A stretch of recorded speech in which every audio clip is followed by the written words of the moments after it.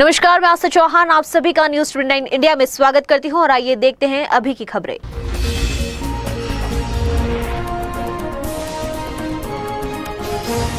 Jaspur police ने एक चोर को गिरफ़्तार कर उसके पास से चोरी की लकड़ी बरामद की है। पुलिस ने आरोपी को जेल भेजा है। जसपुर में लंबे समय से लकड़ी मंडी में लगातार चोरी की घटनाएँ सामने आ रही थी। इसी बीच पुलिस ने लकड़ी चोर को रंगे हाथ पकड़ लिया। पुलिस ने उसकी निशानदेही पर मंडी से चोरी की गई लकड़ी बरामद की, जिसकी कीमत एक लाख से अधिक बताई जा रही है। दरअसल कुछ टाइम से यहाँ जसपुर लकड़ी मंडी से शिकायत मिल रही थी कई जगह से चोरियाँ लकड़ी की चोरियाँ हो रही थी। उसी के संबंध में हमारे यहाँ मुकदमा पंजीकृत किया गया कोतवाली जसपुर में। एक चोर गुलशेर नाम के व्यक्ति को पकड़ा है। इससे पूछताछ की गई, कुछ लकड़ियाँ बरामद की है और अभी कुछ बरामदगी जारी है। चोर तो एक ही है जिसको पकड़ा है, लेकिन जिनको बेचा है, उनके संबंध में जानकारी प्राप्त की जा रही है। अकेला एक चोर है जिसको पकड़ा है अभी। ये कोई किराए की या इस तरह की कोई ऑटो रिक्शा या वो विश्व योग दिवस पर जसपुर में सभी वर्ग के लोगों ने योग अभ्यास कर स्वस्थ रहने का संदेश दिया। शहर समेत कई क्षेत्रों में योग दिवस मनाया गया। जसपुर में पूर्व विधायक डॉक्टर शैलेंद्र मोहन सिंघल सहित करीब 200 लोगों ने स्थानीय सब्ज़ी मंडी चौक परिसर में योग किया। इसमें 90 मिनट तक सभी वर्गों के लोगों ने योग किया। जसपुर मंडल संचालक पृथ्वी सिंह गहलोत ने बताया की योग से रोगी काया निरोगी हो जाती है। योग दिवस था। इसका भी आयोजन जसपुर में सब्ज़ी मंडी में क्या गया और उसमें कम से कम मैं समझता हूँ ढाई सौ की संख्या यहाँ रही होगी।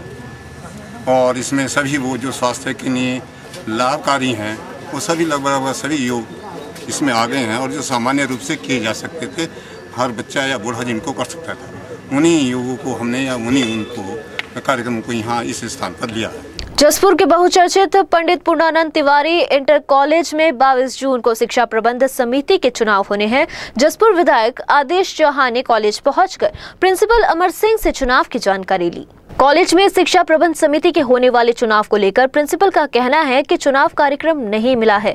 वहीं खंड शिक्षा अधिकारी अनिल ने बताया कि चुनाव संबंधी पत्र तो मिला, मगर उसमें चुनाव प्रक्रिया का कोई ज़िक्र नहीं था। ऐसी स्थिति में जसपुर विधायक आदेश चौहान ने जिलाधिकारी व शिक्षा अधिकारी को निष्पक्ष चुनाव कराने की बात कही। कॉलेज के प्रबंधकीय चुनाव के लिए विद्यालय के प्रबंधक द्वारा केवल एक सूचना दी गई है कि 22 जून को एक चुनाव होगा, जो मुख्य शिक्षा अधिकारी को संबोधित है।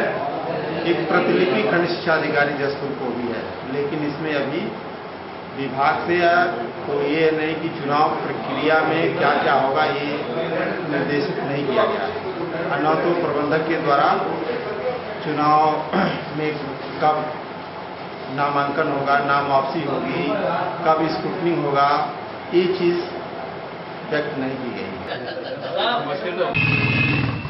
चुनाव की सूचना जो है सीओ साहब को दे दी गई है। लेटर द्वारा सीओ साहब को दे दी गई है। तो बाकी कार्यक्रम उन्हीं को चलेंगे अच्छा। इस प्रक्रिया की जानकारी जो है मुझे नहीं है पूर्ण रूप से। और वो सीओ साहब बता सकते क्या इसको मुझे जानकारी नहीं है क्योंकि मुझे कार्यभार ग्रहण किए अभी एक साल हुआ है।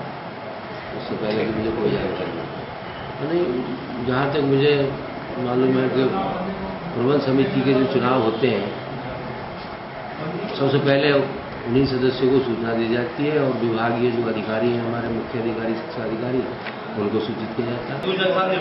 आप बताओ कि साहब आपको सूचना। सूचना कोई कार्यक्रम नहीं और पूर्णानंद तिवारी शिक्षा समिति की आगामी वर्षों के लिए चुनाव संपन्न होना है। मुझे ज्ञात हुआ कि 22 छः 2018 को शिक्षा समिति के चुनाव की तिथि निश्चित कर दी गई है।